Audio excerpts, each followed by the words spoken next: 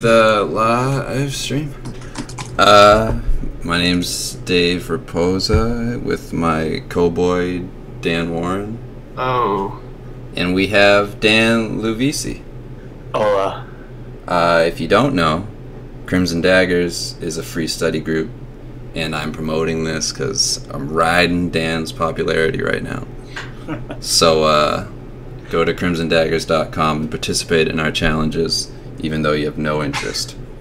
all right, guys. Seriously, before before we begin here, I just have to say to everyone in the chat, as we get going here and we start asking questions and discussing, if you could please limit the chat to questions, and please try not to repeat any because the chat's already flying by insanely fast. Yeah, Dan can read quick. He's But not this- that yeah. good. Not not I, I'm not in, inhuman. So No. And I'm not even watching. I'm just watching porn right now, so Yep, Dan's just masturbating, so I'm just jerking off like a fiend over here. let's try and finish before he finishes. yeah. I'm already done. Well, goodbye. no, but uh, we had a, a ton of questions. They're all pretty serious, which is terrible.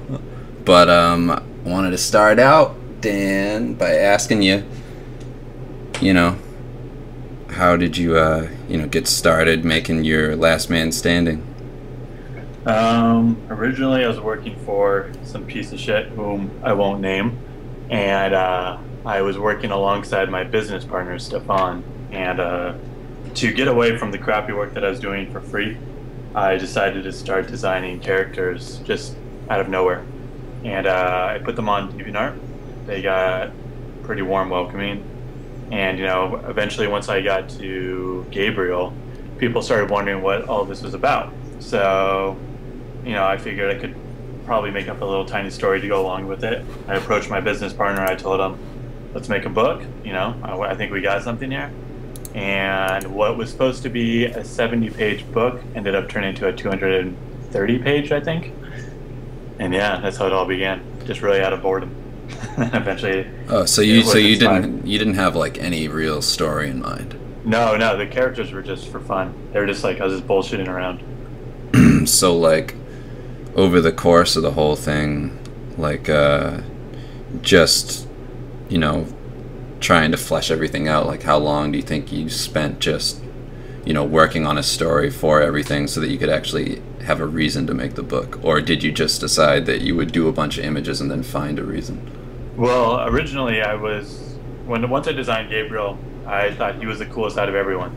So I figured, you know, I was talking to my friend Reed Southern about it, and I was saying that, you know, why don't it would be cool to have something like if a bounty hunter went in and like broke into a type of safe house and took like a folder with all these people that he's going after. So that's what originally was supposed to be. It was just supposed to be a, you know, like a simple folder with a character and just a little tiny write up, nothing more and um, eventually the more characters i created the more it started turning into something. And then you know i'd spitball with reed back and forth and some with some of my other friends. And uh, eventually i came up with the whole idea of gabriel's backstory. And then yeah it just kept on growing from that. So it was really i didn't have a period where i just worked on the story. It was either i was drawing and working on the story or i was getting inspired from the drawings or vice versa So like on top of doing everything you did with just the the whole book and you know it's it's massive like how much work were you doing on the side like how much freelance did you have to keep up in order to maintain you know the ability to work on this job consistently on the side Yeah, um, I actually got incredibly lucky. When I first started LMS, it was in, I think, the end of 2008, I think. And um, right then, I did a World War Z painting that I didn't think would go anywhere. And I put that online. It eventually blew up because people thought it was actual official art, which it wasn't. And that got me a bunch of jobs from that. So I ended up working for DC Comics from there. And then thankfully, my good friend Darius hooked me up with a job on Your Highness, and I was able to do three months of work, which ended up keeping me afloat for like two years. wow So I didn't have to do any work except for DC, which would pay my rent every month. Uh, so yeah, I got really lucky. If it wasn't for that movie job, I wouldn't be able to do the book. oh so basically just like thankfully yeah. everything lined up just right Yeah, exactly. Yeah. So like how many hours do you think you actually like spent on this? Like I know that you've told me that you go in and you do like, you know, like you know, 80 hours or something into a piece. Yeah, um, I usually say that for when I was working on the book, I was putting probably about eight hours a day, maybe a little bit more, because I would work on the comic stuff and movie stuff in the morning, and then once like four or five hit, I would work on that until like 3 a.m. in the morning. Uh, but then each each actual painting, uh, I don't know. I go by days. Usually takes me about a day to three days to finish one. Depends on how inspired I am by it. Okay. So, uh, you know, after having done all that stuff on the side and having gotten your book, you know, like mostly going, did you actually finish it before you approached publishers, or how did that go uh, about? The only publisher I approached was Heavy Metal because Stefan, my business partner, had a pretty good relationship with Kevin Eastman at the time. Um, so he told me he's like, yeah, we should bring it in. So I only really came in with all the pieces that led up to Gabriel, and then two new pieces, and then I put together a little bit of a pitch packet, which you know explained who the character was, the story, an example of what the book's going to look like, and uh, you know that's it. And then I put it in a big portfolio, and then I went to mypublisher.com, which is actually a really good website, and I created a little pitch book you know, alongside to go with it. Um, and I went in there and I pitched it to him. And uh, at first, I didn't think it was going to go through at all. And thankfully, by the end of it, they're like, "Yeah, let's do it." Oh, that's awesome. so I heard that you were like uh, at Comic Con with the book and everything like sold out. Like you, I think you were telling me about that. Uh, yeah, yeah. No, we sold out pretty quickly of the book. Um, unfortunately, this is what happened is that the book that went out was a book that I didn't want to go out. We had a mishap in the print um, that like less than a month before Comic Con. All the covers were messed up and some of the interiors were messed up. So I was really pissed that those had to go out. But yeah, we got rid of those and then yeah, right after that, that's when everything kind of exploded. Oh, okay. So after you like settled on the publishing deal, you basically had like did you have like a window of time to actually finish everything or um, yeah i went in to get it published literally at the beginning of 2009 um, and then i spent wait shit did i work on 2000 2010 yeah yeah 2009 yeah and then i spent the next two years just working on it. Or a year uh, and a uh-huh. half because i'd already put a year into it. Oh wow. So uh just in general doing like this whole process and like starting out you know getting it going before you were doing all the dc stuff and everything did anybody like because i know for a lot of people doing this and uh, it's, it's a question i was actually asked to ask you because a lot of people kind of get like discouraged to take on any sort of major you know like goal like that to like build up a universe and you know like take time aside to do it just for you and hopefully eventually get something from it. Was anybody ever like discouraging you to do that? Like it's a bad idea? Um, yeah, you know. Uh, do you mean during LMS or just all together? Uh, you know, all together and during LMS.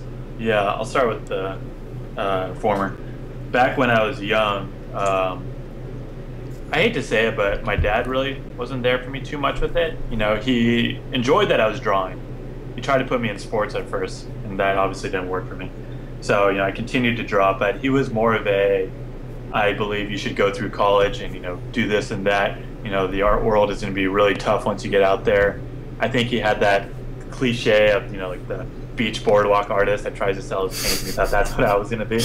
Uh, um, and I told him, I was like, you know, I just, you got to trust me, you know, I think I can do it. And I've had many teachers doubt me, you know, art teachers and regular teachers because you know, I have no problem saying that, you know, I have pretty hardcore ADD. I'm not the best at school. I can't focus that well.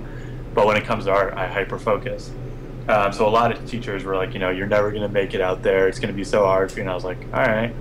So I just kept on pushing. I guess that negativity really inspired me to continue to, you know, try and impress those people and be like, I can do that.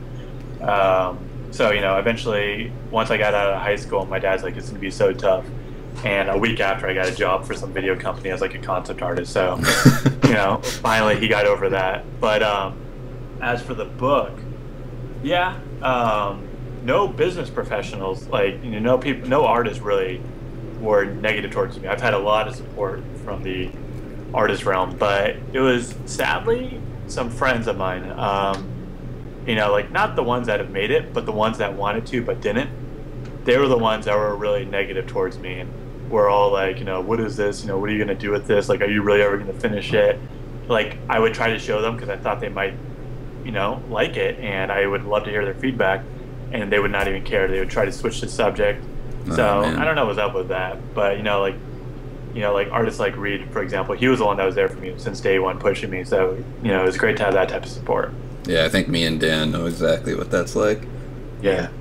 Yeah, you need that common artist that you can bullshit around with and spitball ideas and you know, otherwise a lot of people don't get it. They don't get like they just think I draw something and it appears. It's like, you know, a lot of shit goes into it. Yeah, what was it like? Uh, I mean, like uh, you must have had, you know, like I know, I know for me, and I know it's the same for Dan, you know, the other Dan, that uh, we, you know, like we we would do this stuff, and everybody's sort of against you along the way, but then as soon as everything goes through, people are like, "Oh, that's awesome," Oh, or yeah. like you know, like they totally turn around and they're like, "It's great." Well, Yeah, they, you know, they fight you the whole way. Exactly, yeah. And I had people like that. Like, you know, I hate to say it, but my dad is kind of like that. And, you know, there was some. We'll get to that once we get to the film side, but uh, Hollywood is exactly like that. You know, no one wants it at first, and then the moment it's sold, why didn't you call us? We would have taken it. It's like, dude, we did meet with you guys. Like, we did show it to you. you didn't want it. Um, and now they all want to be my best friend now and want to hear my next project. So, yeah, it's Mm. weird. Well, that's a good segue. Uh, moving on to that. Yeah, what was that like? You know, like having that whole project being done, selling out of the book, and then, you know, like, what was that like what prompted you to sell it as a movie? Um, to be completely honest, when I first started LMS, I know a lot of people are like bullshit, and like some people tell me that I created the book just for a movie. Honestly, never had that intention. Never even thought it would become a book. Um, I created it and I just put my heart into it. It was something that I really wanted to see done as a book, and I wanted to prove myself that I could do it because it's something I've never done before. Um, so you know, I just went balls out on it, and thankfully enough, uh, once the book was finally finished, I showed it to Kevin because he hadn't seen anything since the first day we met, so he had no idea what the book was. So once I finally brought it in, he was like, "All right, I got to bring in my guys." He brought in whom are now my marketing and one of my producers, uh, Peter Levin and Russell Binder, and they saw the book and they're like, "This is like a toy series and a movie and a comic." they're like, "You know, you can do everything with this." Um, so from there, we then set up meetings with a bunch of studios. Uh, it was a little hard pitching this because you know it's such an expansive type of book, and it's Yeah. you know it's not very it's not really narrative in a way.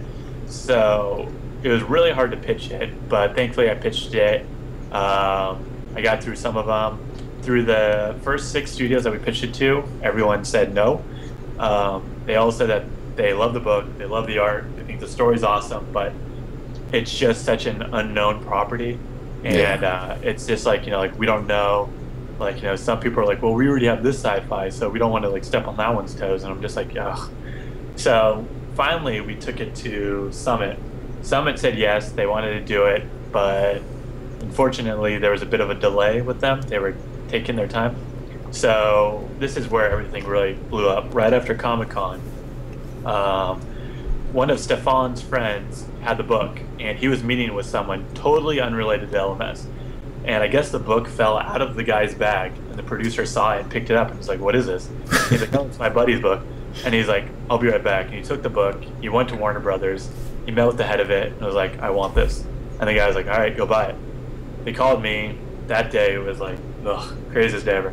They called me as I was having lunch, and he was like, "Hey, uh, you know, I hear you have this property, blah blah. We would love to buy it." And I was like, "Okay." And he's like, "You know, we can put on like some big names on it. Like, we would love to do with you." And I was like, "All right, but Summit already has it. We're not ship or shopping anymore." So he was like, "All right." So he went to Warner Brothers anyways, and they're like, they definitely want to buy it. They made an offer to me. It was an incredibly nice offer.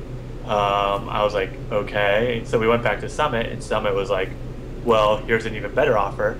And then Paramount came in and it was like, well, here's an even better offer. And then they all started competing. And it became a bidding war. And then, yeah, it just, it got crazy from there. And finally, you know, without getting into details, because I'll remain that to myself, um, it got to the point where I went with the studio that gave us the best deal and who treated my people the best. And, um, you know, eventually, once we got all that taken care of, yeah, it just it was one of the craziest days. I'll never forget that. Yeah, that sounds insane. Yeah, I'd be like pissing myself, I know. just crying. I know that's what I was like. You know, my phone is just like buzzing, and then like when we finally sold it and once it got online and everything, all these studios were coming in. Like Disney was like, we would have bought that, and then Universal and all these people are like, you guys should have gone out of your way then. But yeah, it was nuts. Yeah, so what is it like now? I mean, do you have uh did you retain any like control over the movie or like uh Um, yeah, I got away with murder with my deal. Um, my lawyers really stepped it up and put on their A game. Um, you know, I get a percent of all merchandise. I get a percent of the budget that the movie makes. I mean, box office. Um, I'm a producer on it. You know, most creators might get an executive or co-producer, which means that they don't really have much say. hmm, Um, but yeah, I've been in every meeting for the movie. Um, you know, I originally came up with the treatment alongside my producer for the movie. Um, but yeah, no, I mean, it, they've been Paramount's been great to me. They've been really cool. Then I wish I could talk about the names that they've been throwing out, but it's all people that I'm very impressed with, and it's not just a bias. Like I'm just gonna say, yeah, just to you know please them. They're all people are like, holy shit, yeah, if you could pull this off, this would be amazing. So, So- uh, sorry, what's up? I was just gonna say like so do you have any sort of like realistic timeline as to like how it's gonna proceed and, and where it's gonna go and like uh you know some sort of window of when you might Yeah. be seeing something from it? Um, well, we just hired the writer back in December. He's writing it right now. Uh, we're supposed to get a first draft by the end of February, so I can finally read it then. If all goes well, I would say probably mid late 2012 we could start production, hmm and then you know get a movie by 2014 if all Uh, goes well. That's Yeah. awesome.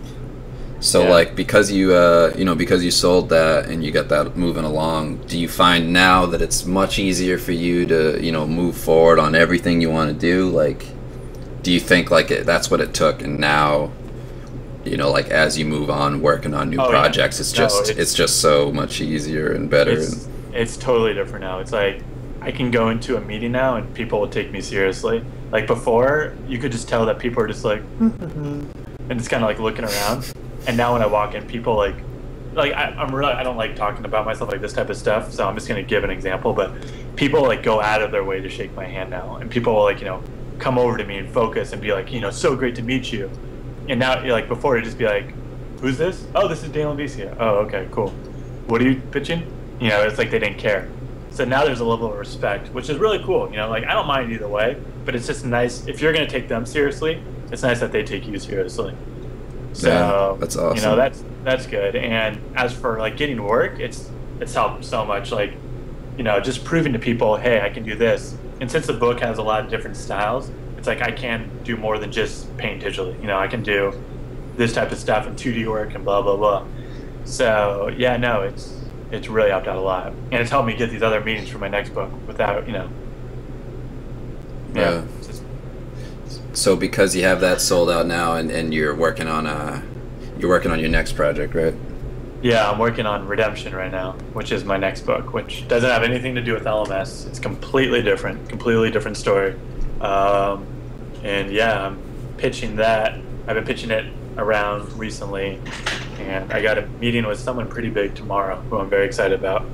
And then a few meetings after that. So hopefully someone will take it up and I can finish the book because the book's gonna be a pain in the ass. The book LMS had 40 or so actual paintings in it.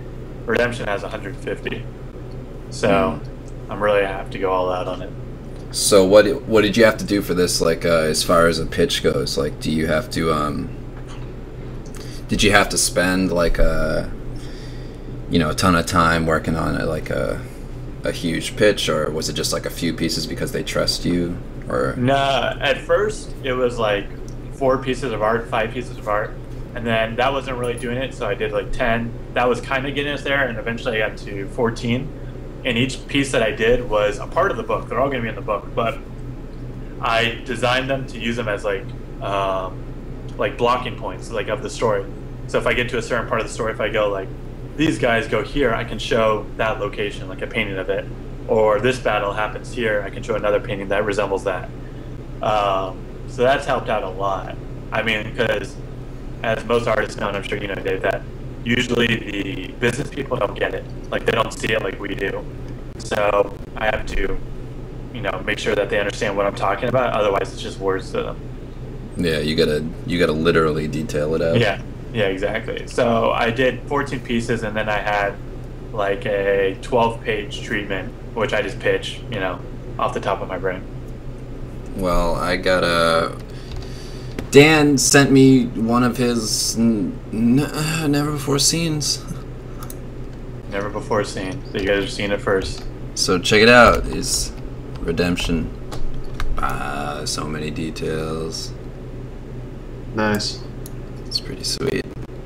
So you got a hundred and how many of these to do? Uh, 150. I have 15 so far. Jesus Christ. Fuck. So it's literally one ten. I mean one Yeah. one hundred. Yeah. Yeah. Yeah. Wow, that's a lot of work. So, uh, yeah, I mean, going over everything, it's like, you know, we talked a lot about what you've been doing now, uh, you know, current stuff. Do you want to open it up to the chat now, and Dan can start fielding questions? Yeah, I, I've already written down a bunch of questions. Guys, if you're writing down questions in the chat, I'm not going to look at them. I have a bunch of questions that people have already asked. I wrote down the best ones since we started. When I get to the end, I'll open it up to anyone else that has anything. But if you type anything, I won't be looking. So, That's awesome, Uh, by the way, Dan. It's cool. Thank you. Yeah, it looks great. We're at 530 viewers now, so if everyone's asking, I, there's no way to read it. So, um, okay. So one of the biggest questions we got from a bunch of people is, um, how did you find? This is a common question. A lot of people wonder is, um, how did you find the switch from traditional to digital? And um, is there anything you had like a snag with? Was it seamless? Did you struggle? Um, yeah, actually, yeah, that's a good question. Uh, when I was, I've been drawing with pencils. I always throw this age out because it's honestly like I remember the day perfectly, but I was around four, and I started drawing. Dave, I know you're related to Ninja Turtles, but uh, Leatherneck, the alligator Yeah. character that wore the jean shorts. I remember my dad drew a picture of him, and I was like, "Holy shit, I got to draw that!" And uh, I took out some crayons and did it. And ever since then, I've been drawing with, you know, like colored pencils and pencils. Um, never dabbed into paints or anything. Um, was always black and white. Um, and I did that until about 15. I didn't really take any classes. I took a few, but it was, you know, boring shit. So once I turned 15, I had a some video game magazine that had a painting in it for uh, the Fellowship of the Ring video game for like Xbox, and there's a painting by Justin Sweet, and I was like, holy shit, you know, like I gotta learn how to do this. This is awesome.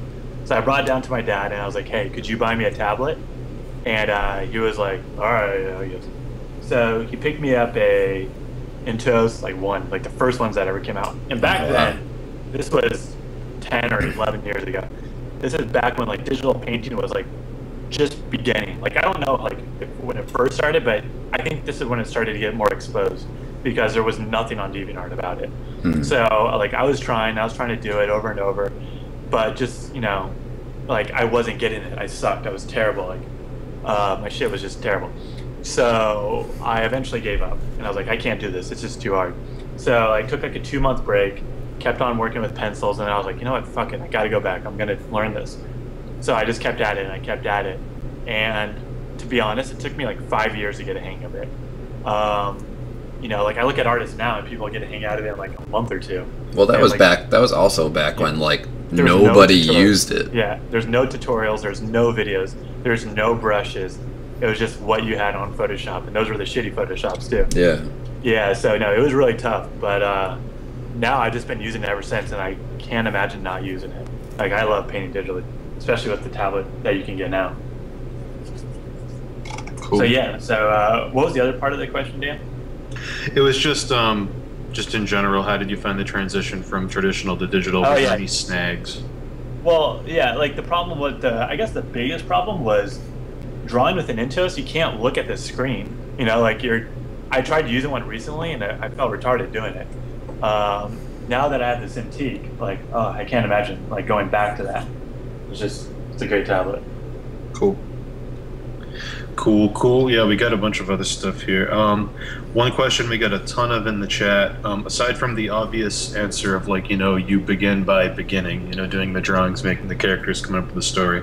How do you start the process of pitching something to a company? Do you wait for them to find you? Do you actively go find them? Once you've got all your stuff going, the characters develop the story, some art going. How do you then make that transition of promoting it, selling it? Um, pretty much I got extremely lucky with the people that I met. I've met a great group of people who have done nothing but push me and continue to enforce my ideas. Um, I would say that, you know, it's really all about networking. You know, get out there, know people, meet people. Uh, because without that, you know, one person can open 10 doors for you. And that's what happened with me. Yeah. Um, you know, I don't think I would have the balls to go out there and try to pitch my stuff if I didn't have the team I have now. Uh, they have not only opened doors for me, but they have introduced me to huge people that I would never, you know, ever imagine myself to be sitting in the same room with. So, you know, I've got really lucky on that. Um, if you don't have those type of people, just put out your art, you know, make yourself known, be your number one cheerleader, uh, promote your shit wherever you can. Uh, you know, Dave, I'm gonna use you as an example, but you do a fucking great job at it. Your stuff's everywhere because you know you hustle it, and that's what you really have to do.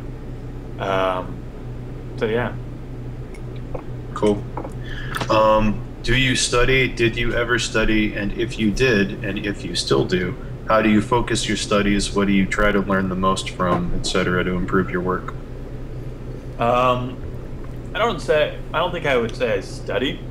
What I do is I really just try to get inspired by everything. I have a folder of about. Let me see how many pieces are in here. Um, yeah, there is fifteen thousand pieces of art in this folder that I have, and I will just go through that, and I'll literally just like put it in preview mode and just hit the arrows, and just look at everything. And not that I'm like stealing anything, but it'll just a natural like inspiration will just come from that. Like I'll go like, oh, this piece is awesome, or this concept's awesome, or like, shit, this guy really stepped it up here. Like, what can I do? And uh, you know, I'll learn from that. I've learned so much about my style from other people, you know, just by or films or music. Um, you know, I unfortunately I didn't have the money to go to college, um, so you know, I was never able to do that. Uh, It's so I really, yeah, that's what I've heard. You so lucked I out. had, yeah, so I had to, uh, you know, basically teach myself. Um, and like I said, you know, a lot of people are like, "Do- are there like any artists that you're in like competition with, or you wish you're better than? And I'm like, no, you know, I don't think that at all. What I do is, I look at other artists as inspiration, and I look at at myself as competition. Like you should always try to better yourself, and always try to make sure your last piece is, I mean, your next piece is better than your last. Um, you know like when i see like example again like dave's work i go like holy shit this guy's fucking awesome like how can i make my stuff look like that you know but do it in your own style don't try to mimic that's one thing i hate is when an artist tries to mimic your style Oh, thanks. don't do that because then everyone's just gonna say your stuff looks like this guy Yeah, exactly. It's like the internet right now. There's like Yeah. there's one there's one Kekai, and then there's like fifty thousand Kekais. yeah They just aren't they just aren't as Kekai. yeah But uh, okay, so that being said, uh, who are your biggest visual style influences? Can you talk about any artists that you look at more frequently than others, and who might have had a hand in the visual development of uh, LMS? Ooh. Um, yeah, if we're talking about artists, like actual digital artists, uh, you know, Greg Broadmore, um, Syd Mead. I'm fucking terrible with names. I'm blanking out right now. Uh, Justin Chan. That's his name, right? Dave? Massive Black Guy? Jason Chan. Jason, Jason Chan. There you go. Um, yeah, John Howe, Alan Lee. Uh, um, yeah, you know, but uh, more so like in director, like Ridley Scott's a big influence. Yeah. Um, old George Lucas, not new George Lucas. Dude, I love I love that you can always see that. You can always see when somebody loves Ridley Scott because there's tons of floaty bits. Yeah, Floaty it's just shit everywhere. yeah, I know. Yeah, if you look at Alien, it's just like shit still lives up today. Um, but yeah, you know, just uh, I'm I'm very inspired by movies since it's what I want to work on. If I could name a, yeah, Jones is good, as Julia just said, or Julia, whatever. Uh, I'm really inspired by Weta. You know, Richard Taylor, all the guys at Weta. They're one of my main inspirations. Blur, Digital Domain, um, all those guys are great. Uh, Legacy, kind So of like my artist folder. do you look yeah. to a lot of like uh you know like 3D render kind of stuff when you're doing Oh, your yeah. work? Yeah, no, I'll go to ZBrush Central all the time and look at their shit, get inspired by that. I can't do any of that. I wish I could.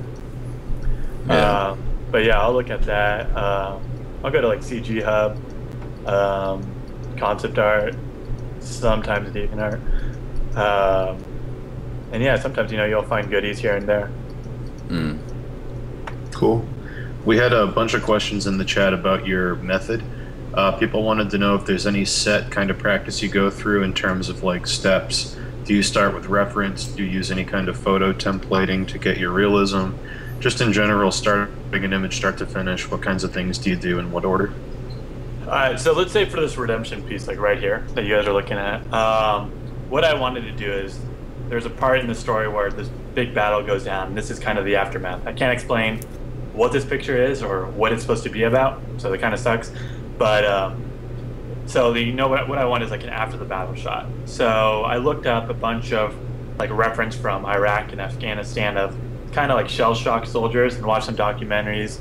Anything I saw, just that like vacant look in the eye, um, I would take you know reference of and you know create like a little uh, like mirage it. So then after that, what I'll do is I'll do a little thumbnail sketch of what I want the picture to look like. Um, and then from there, I will create, I'll boost the resolution up to print size, put a white layer on top of the sketch, um, decrease the opacity to about 50%, and then trace over my sketch with a like a thin brush to basically create like a detailed line art. From there, what I'll do is once I have the line art completely done, which takes a while, I will um, begin blocking in colors underneath the line art. And then once I have all my colors set, I'll then merge the line art with parts of the color, the layers, certain layers, and then begin rendering it piece by piece. Um, so yeah, that's how I pretty much do that. So do you try and map out your values like right from the start, or do you build up? Um, I'll map out my values right from the start. Pretty much like I've seen your uh, work in progress. Pretty much like what you do. You know, like I'll where there's light parts, obviously it's gonna be lighter there. Dark parts, but then once I get like the final image, I will go in. I'll use curve layers and you know drop down some parts a little bit more, and uh, yeah, go from there. Cool. Cool. Um, in in that same kind of vein of that question, do you always begin with a tight line drawing? A couple people were wondering if you ever just start blocking in shapes and just painting, or if you're more of a drawing oriented person. Yeah, I'm more drawing oriented. I can't uh, like I see some people that like I'm sure I could block in shapes, but it's just not my style. I like having like a guide to go off of and to, you know, just keep it simple. Like, cause you know I'm very detailed, as I'm sure you guys can tell. Um, so I like to you know make sure that everything is perfect, so it all looks exactly the way I want it. yeah, I can see like. OCD tendencies in this. Yeah, like Dave, I'm gonna send you a full res crop right now, so you can show it. You'll see what I mean. you where are you sending it to? Can you send it through Skype? Is it faster through there? Uh, it'll be easier than enough to pull up like Windows and all that stuff. Okay. Um, so yeah, that's pretty much how I did. it. Is it even sending right now? Yeah. Uh, it's not showing on mine. Um, but yeah. So um, a bunch of people are asking this. I wasn't going to ask this, but I will just because people are repeating it constantly. Uh, you put up some brushes on DeviantArt, I guess, and people want to know if you're putting up more brushes and when. And they love your brushes. They want more of those brushes. Uh, Because by downloading by downloading your brushes, they become you. And now that you're now that you're better than you were, they want to become the new you. I don't use any new brushes. You know, like I still use all of the same shit that's in that pack. I mean, I would go to Oh. Reach brushes if anything. Um, here, I'm gonna put a little. There, go to his page. Oops, forgot the art. Uh, go to his page. He's got the newest ones, and then I have some of Dave's brushes. You sent me some. I use some of yours, but I really all I use is that chalk brush. Yeah, that's like the one thing. It's. I mean, do you want to dispel that myth for everybody? Now that there's a ton of people here. We say What? it all the time, guys. I don't know why it hasn't sunk in yet. Custom brushes don't make you crazy good. like, you can have 57,000 brush packs and it's not going to change anything. Yeah, it's not. can It's do not gonna do anything. I use. I honestly use one brush. That's all I use. Um, if no, I use that brush, and then I'll use a soft brush if I'm using like glowing areas or whatever. Yeah, but it's Uh, like I mean, like that's the one thing is like people see like a texture on top of like a final product or something, or like an incorporated texture, and they assume that just because that's there, all of a sudden everything else built up to that was like bullshit. Oh no, no. Here, show this latest piece or this one that I show you. I'll show you how I do some of the textures on there. Yeah, of my I just opened the that. grain that I put on. Is this the one that I have up right now, right? Is, yeah, it's, uh, a, it's a it's a close up of his eye or whatever. oh, you sent me uh, the I think it's the same exact one. Fucking Christ. I. I thought Damn it, this one's was. even larger. Damn it. This Guys, is you a. know, This is these are a. really gonna, is it gonna kill you? What? Is it gonna kill your connection if I just email it? No, I just uh, I don't know. It'll be done in a second. Uh, I'll just wait. Uh, So, yeah, like, a a, yeah, this is this is a pretty good one. Oh, are you gonna keep going with the brush thing? Oh no no, I we're done with the brush. Oh, okay. Uh, I had I had one I had one good question. Um, a lot of people have a problem with this. They talk about it on the stream a lot. Is uh well obviously before Paramount got into a bidding war for your IP, which is awesome. What motivated you to keep going when you were you know beginning out as an artist before before everything kind of worked out towards the end? How did uh how did you keep going? Um, I just, you know, I was, I don't know, art's been the only thing that I'm really good at, to be honest. Um, I've never really progressed too well in any other things, so I just figured, fuck, this is the only thing that's gonna make me money. I might as well just stick at it, and just kept on pushing and pushing and pushing, and eventually got me to where I am now. Hmm. Uh, but yeah, here's that detail piece that you can see.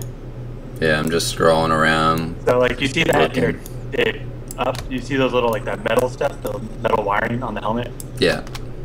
like that what that is is just you know most people are like is that a texture um, that is a polygon shape which i then duplicated made a pattern of it and then set the the level or bevel whatever and emboss filter to it and that's what created the lighting on it other than that like like that one right there is a carbon fiber texture on that little bar that's going across Yeah. But most of that shit's all painted all those scratches and all that stuff You might have already said this, but uh, a lot of people are asking how long did a piece like this take you from start to finish? this one took a week because it's really this is full re- is that full resolution as far as you can go Uh, I can go in closer, I guess. I don't know what full res is. Once it gets pixelated. Yeah, see, that's full res. Gross. Just spending so much time on it. Yeah. Would you do you want to talk about uh how you get realism in a piece? Because I mean, like I can see that when you're doing it, you know, like you go, like there's a lot of soft versus hard in the focal area, Yeah. and then as you move away, you go soft. I mean, like if I move around to the uh, outside of your helmet here, there's like a blurred line. You know, just as you move away from the focal, all that kind of stuff. Um, really, the realism is just, I, I would honestly say it's all in that grain. Like the grain layer that I add to it just gives it a certain type of realism. It feels like a photo almost. Um, and then, like I said, I'm just, I'm a sucker for detail, so I'll try to put in as much as I can. Like if you, like if you look at the shit on the What neck. is that noise?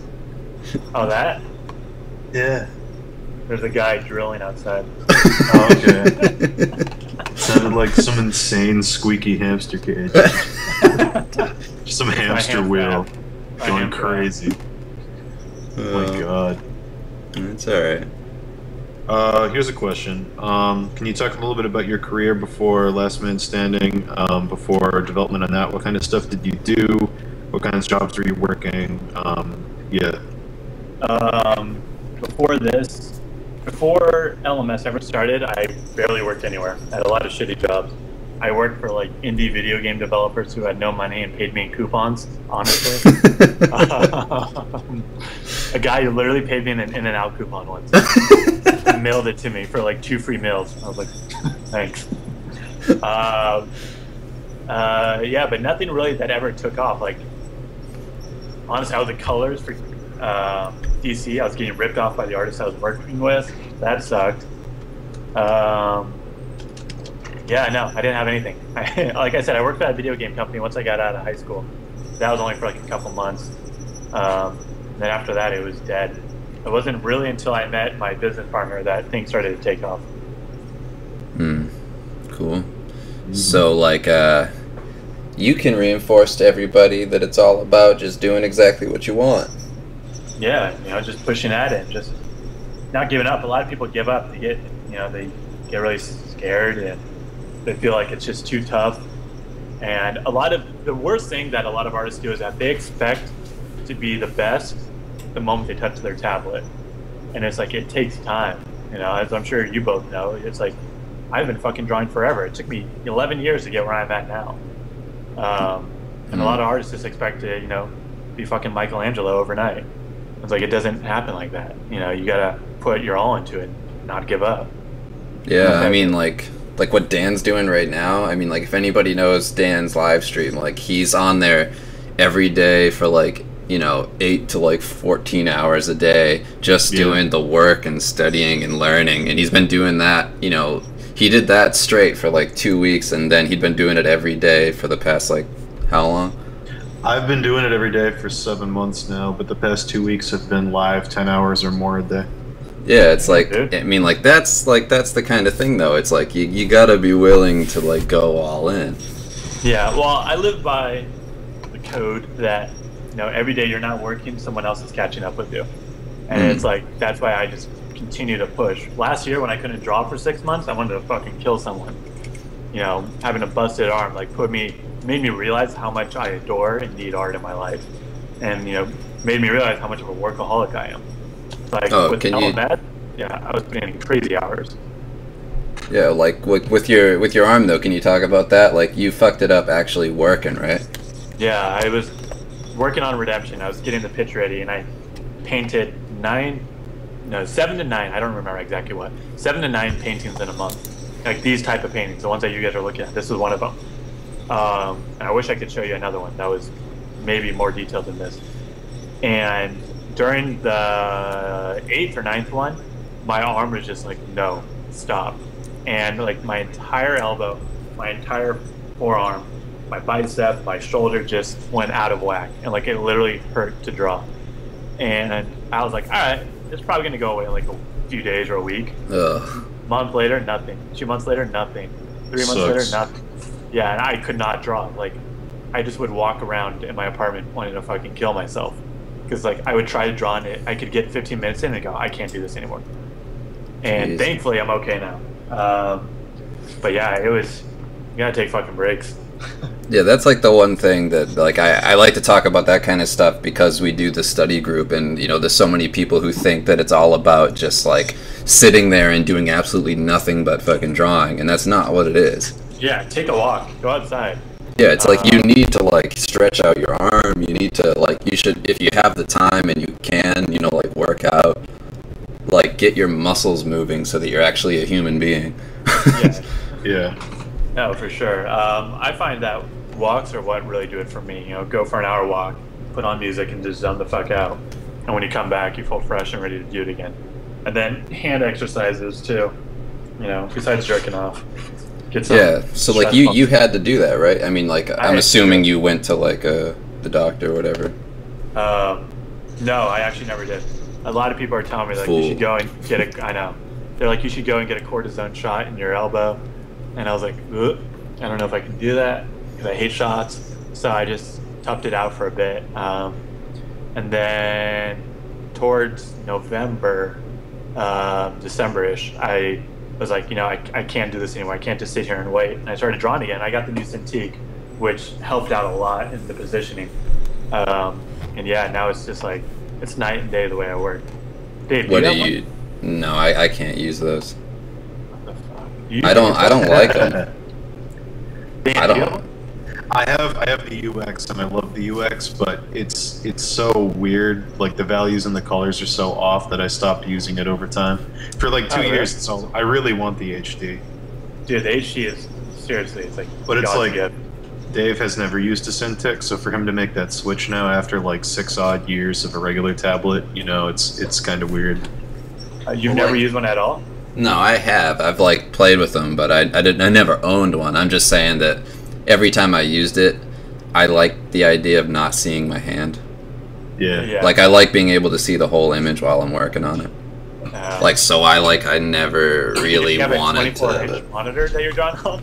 Like I like drawing with a Cintiq better than on a regular Oh, yeah. tablet, but uh, for, in terms of rendering, I agree. I don't like seeing my hand. But for drawing, it's like so much better.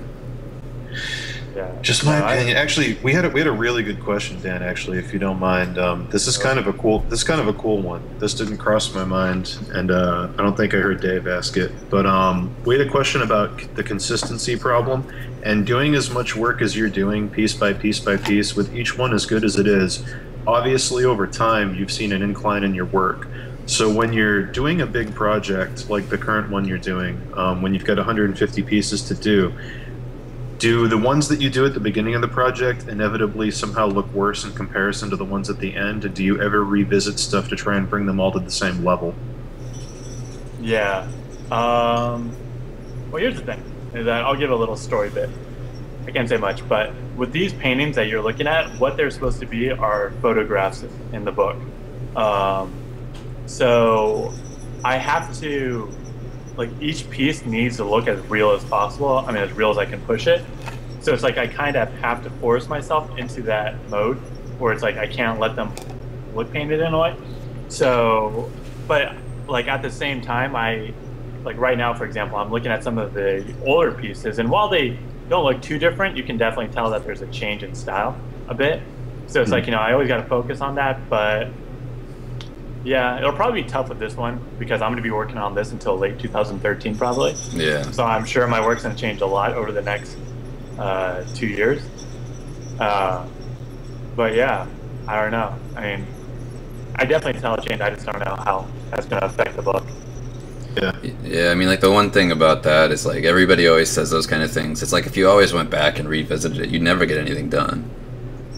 It's like Yeah. it's always so like eh, I mean, it's a decision. I guess I guess it depends on everybody's comfort level with their work in there, especially if you're doing a project. But it's like you know, to a to a degree, you can't just sit on one thing for you know months. Yeah, yeah, exactly. Yep. Uh, I have a question. This is like something that tons of people ask. It's, you know, like since you're doing, oh god, the guy's like coming into your apartment, I know. just drilling through the door. hey, you mind? Sliding in. Drilling my desk as I'm sitting here. but uh, what I wanted to ask is like, uh, tons of people talk about this. You know, like when you're working on something forever and you're constantly into what you're doing, like how do you make time to do personal stuff? You know, like especially during when you when you were doing like uh, LMS and you didn't have, you know, you didn't necessarily have all the funds to, you know, do everything or whatever, or you hadn't sold anything yet. Like, how did you make time, or did you necessarily make a lot of time to actually go out and make sure you did stuff, met people, and all that? um, like what what point in my life are we talking? Are we talking about like after high school or? I'm saying like in it, it like like now versus the versus like when you started LMS, like how you know like how did you go about like uh, living? like how did I have fun? yeah, like did you go out like for me for me like when I was studying and I was really trying to do something, it was like a desperate struggle. It was like I was trying to change my whole world. So like I wouldn't obviously I would go out less and I would do less things and I wouldn't participate in the world as often until until I could get to a point where I felt like you know I had done something. You know what I mean? Yeah. Uh, no, what I do is, you know, I don't really go out much, to be completely honest. Uh, I'll only go out like if I go to see a movie with a friend or go out to dinner. Uh, majority of people that have meeting, like new contact and stuff, have been through meetings. You know, I actually are drinks, but other than that, you know, I'm pretty much a hermit. I stay at home a lot. So you just don't care. Yeah, no, I don't care. I would rather be doing this than going out to like a party or some shit. Do you think like I mean like for me I feel like uh while you should still be doing things, it does take that kind of uh you know like whether it's a a conscious decision to make a commitment or not. You know like it does take that sitting down and just working through it. Yeah. Even if there's like tons of shit going on because for a lot of people starting out they're like yeah, but I can't do this because of this and that, and my friends want me to go smoke pot, and I gotta go to this party, and I gotta whatever, whatever, and it's like, well, mm-hmm. yeah, but you gotta make a decision between what's important to you now, you no, know. exactly. Yeah, no, I mean that's how it was when I was in high school. Like everyone was like, "Hey, we're gonna go do this party, and we're gonna go do this and that, and oh," uh. and you know, you'd be the fucking loser if you didn't win. But now I'm at where I'm at in my life, and they're still working, you know, their shitty job. So it's like I focused on doing all this and staying at home and being that nerd, so I could finally get to this point in my life. And you know, I'm proud of it. I'm glad I did it. Um, you know, I'm determined. That's the whole difference. There's followers and there's leaders. There's going to be those people that really put in their all and get to where they want to get at, and there's going to be the people that say, "Oh yeah, I'm going to get there one day," and then go out and do stupid bullshit and never get to it. Yeah. Yeah, so you hear that, guys? If you're in the study group, you gotta be focused, Yeah. or else Yep. it's just never gonna happen. yeah.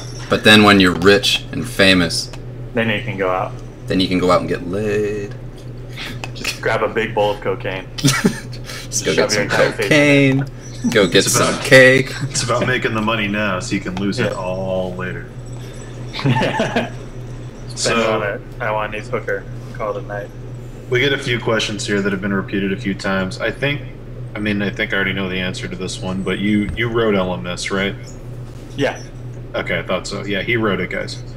Um, we get this question all the time, no matter who comes on. Uh, what are your tips for getting into the industry? How do you have that competitive edge that catches the eye? Worst. Worst question. I get it all the time, and people won't stop spamming it, so I Uh, put it to rest. Dude, I, I don't know. I mean, like you guys, I just put my shit online and someone was like, dude, you want to work for us? And I was like, yeah, sure. Let's do it. You know, I never really, I've never gone out of my way to go to a company and like sign up and try to work with them. Yeah. Um, they've come to me. Uh, so yeah, but then again, at the same time, I'm not really trying to get a job doing that. Um, here's a quote that my business partner told me. Now I can never think otherwise. Is that I used to want to work for Pixar and I used to want to work for Weta and ILM and Digital Domain and all these people. And he was like, "Why would you want to work for them when one day they could work for you?" And I was like, "Huh, exactly." you know. And then I created my own book, and then Richard Taylor from Weta wrote a quote on it and said that he wants to work on the LMS movie. And it's like shit like that means so much more to me than working for them. So I don't know. I would say just be your own boss, be your own artist, do what you want to do, create This IP. a, uh, I mean that that question, guys. I only asked it because so many people were spamming it. That question sucks, but uh, I actually actually actually like this this next question because it's different for everybody. Um, when you're doing your projects, do you do you usually start by fleshing out the story and getting everything set, and then developing the characters and the world and around it, or do you start with the characters and come up with the story later? Or we, we Um, know that we know that you did you didn't do that with LMS. Did you Yeah. find that that's something you needed to do with the next one in order to get all your shit together? Yeah. No. Well, here, I'll explain how LMS works and how Redemption works. With LMS, what I did is that obviously I was creating the whole book as a whole, like piece by piece. Um, but for the majority of the characters, I would design them first, and as I'm designing them, subconsciously, I'm already thinking about the story of who these characters are, and I'm getting to that. You know, who is this person? And what do they do? And why do they wear this? And why do they have that? And like, there's one character uh, for whoever has the book, the father.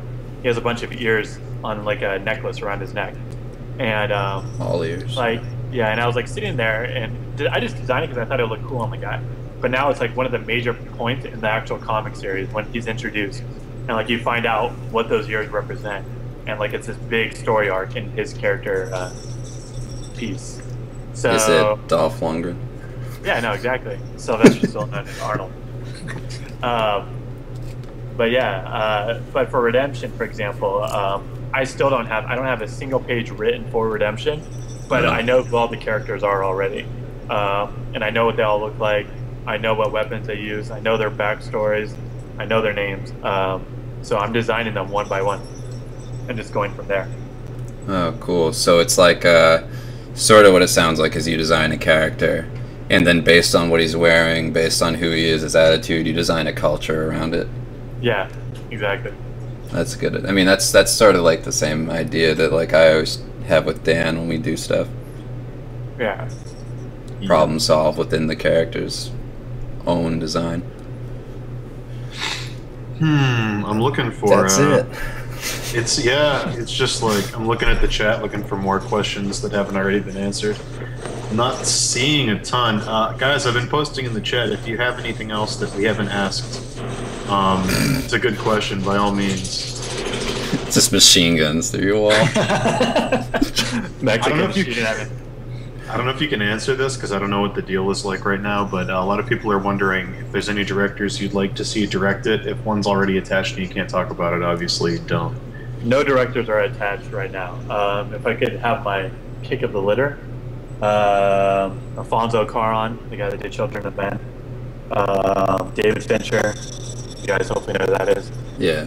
Um, who else? I mean, there's other people out there. I don't really put too much thought into it. I want someone that can bring a serious, badass movie, but someone that can also bring humor to it. If Edgar Wright directed LMS to Go York or whatever, it would make no money. No one would go see it. Hmm. Just like, so you know, we need someone that has a name, but is also talented. Mm. Hey, I got a I got a question because this kind of goes along with what you were saying about being a hermit. So you you saying you're a hermit? You don't go out that often, whatever. You know, you go out and get drinks with, you know, clients or whatever. Yeah. But how did how did you then go about doing all the networking stuff? Like, was was that based around just just doing online stuff, or No, it was my like I said, my business partner Stefan introduced me to a lot of people. It's all really through him. He'll set up meetings, I'll go down there, meet them, and then through that person I'll meet someone else, and then blah blah blah. It'll go from there and there, and just continue to grow. Mhm. It's really through him. Or So like you get a Comic free Con or certain conventions or stupid Hollywood bullshit parties. you have to go to those? Some of them, yeah, That's awful. it's terrible. What's that like? What do you work on? Well, I'm working on this. Well, you're working on that. I'm working on this. And just uh, 15 Just- minutes of that, and then an awkward silence, and then you both walk away. Just comparing dick sizes. Yeah. That's terrible. Uh, So, we've got a question here. Uh, is music an important thing in your development when you're doing painting? Is there anything specific you like to listen to? And if so, the second part of that question is would you want that kind of stuff in the movie when it gets made? Like, how much of what you're doing comes from that, and would you want that to carry over into the film? Um, yeah, I listened to uh, Nine Inch Nails. I love Trent Reznor. I love if he scored the movie. Um, but I listen to a lot of electronic stuff, some alternative, some rock. Uh, really, just whatever inspires the mood. A lot of electronic music inspired LMS. Um, but yeah, you know, I, I'm still unclear on the soundtrack, what I want exactly. But hopefully, it's just cool. Uh, what about LMS? I know it's been sold out everywhere, like forever, and now it's like tons of money on Amazon. I think I saw it for like eight hundred bucks or something, like around that. Like, do you have any plans to like republish this? And like, what happens with something like that, where it's like you you have it, you get it published, and then you know, all of a sudden it doesn't exist anymore, do you have the ability to republish it, or like? Oh yeah, I got the rights back from Heavy Metal, so they're all mine. Um, we are in talks of uh, doing a digital version of the book, and also we will be publishing it soon. It'll be self-published. Cool. Um, oh god, Mythdagon, I hate your name. First off, second off, this question's really stupid, but you keep asking it, so I'm just going to address that it's stupid and then ask it. It's Where do I see myself? in five, Where do you see years? yourself in five years, Dan Luis? More specific, Uh, five to ten. Five to ten. Radio. Where do you see yourself in five years, and then where do you see yourself in ten years? How does the five compare to the ten? Dan Lavusi, if you could have anything the- if the in 10 five years, what would it be? If the ten, if the ten years doesn't work out for you, would you want to go back to the five and rethink the next five for the ten? What kind of mistakes are you planning to make between five and ten? Um, in the next five years, I hope the first LMS is out. I hope it's successful. I hope Redemption's out and it's on its way. Um, hopefully, money is no longer an issue, so I can just continue to work and draw and create. Um, I would love to have my own studio in 10 years. I think that'd be really cool. This But. I know. How big is your gold house? Uh, it's, it's made just of checks and cash. it's a paper house. melted, yeah, melted or melted into gold. Every time it gets windy out, piece blows off, you just put more money up. I, do, I lick it and put it down. Um, God. Yeah, God. I'm looking at these questions right now. What's the difference just- between collectors and normal edition? One of them is the same but costs more. They're just flying by. Yeah, I know. What about the booty tootie? I use a Mac. Since, since Dan didn't study, does he not think it's crucial to artistic development? So He better, or I'm gonna hang like up art on colleges him. try to change you into the artist that you're not. So like, that's my whole opinion on college. All right, guys, pack it up. Dan didn't study. You don't have to. You're you're done. Go get some jobs. Remember, guys, it's not about how good you are. Oh, God. It's about, uh, well, I don't know, because uh, I, I studied. Do I go Okay, to so- the? No. I wasn't- Uh, I wasn't gonna ask you this. I, I'm just gonna ask you all the horrible questions because people won't stop. I've typed in the chat, don't ask it again. I've said it out loud, don't ask it again. You're not taking the hint, so guess what, booty tootie? I'm ask you, I'm gonna ask your fucking question. And your question is, how many processors does Dan have and what are they? How much RAM does he have and what are they? Because if I get processors and RAM, I'm gonna paint just like Dan, obviously. I'm not going to say anything. Tell us what your processors are, Dan. We want to be. fucking. I have a computer. That's all I need to know. It works. Tell me what kind of air conditioner you have. Tell me what kind of fridge you have. Dan, what size shoe are you? And I gotta know the res that you work at. Do you want an Android phone or an iPhone? You gotta tell me which one I'm gonna get. If you could live alone anywhere, where would it be and why? Could you do without parents, or was that a big deal? Dan Luvisi, Nintendo 64 or Commodore 64? Which one do you have? Fucking Christ. Nintendo 64. Can you talk about the Good design answer. in Jet Force Gemini? Were you a fan? God. Jesus Christ. Jesus. Uh, and on that,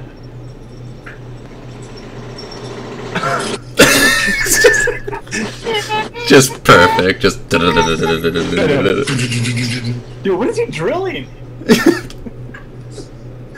Uh, hey, do you uh, do you want to make video games? I don't know.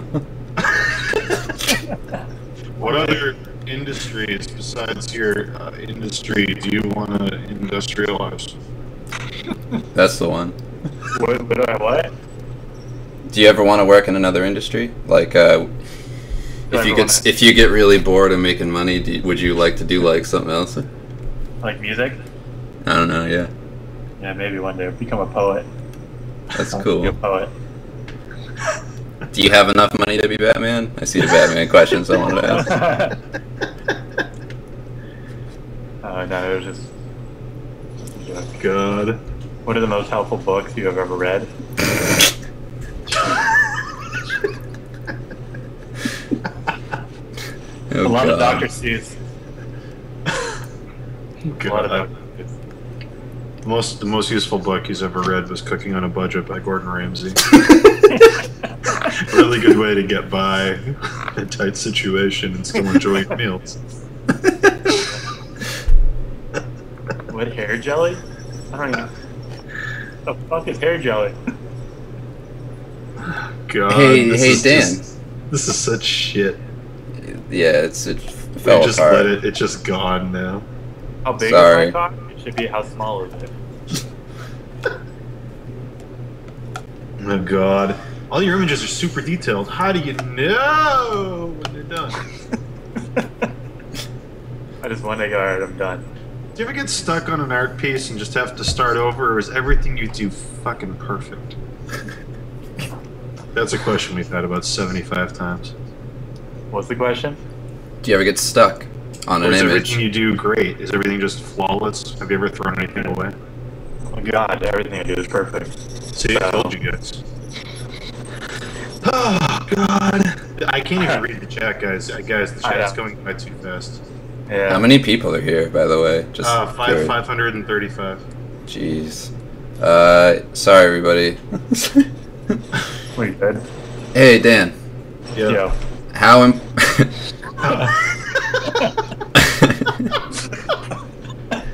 Uh, Both of us at the same time. Yo.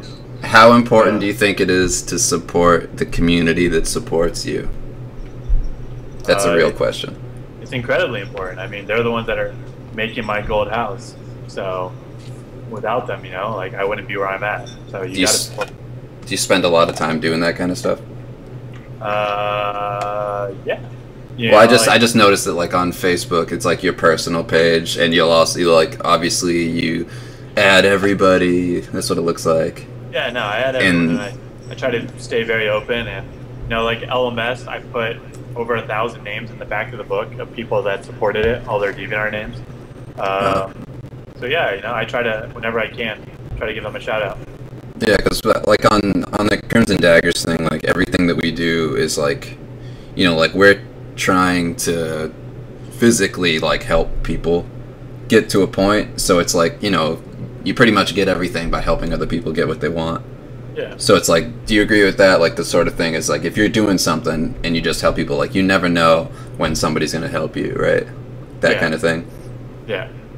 And that's Um, like, has that like helped you in any way? Like that kind of like always, you know, appreciating people for what they're doing and and you know like appreciating support and all that. Has that like Well, ever come back?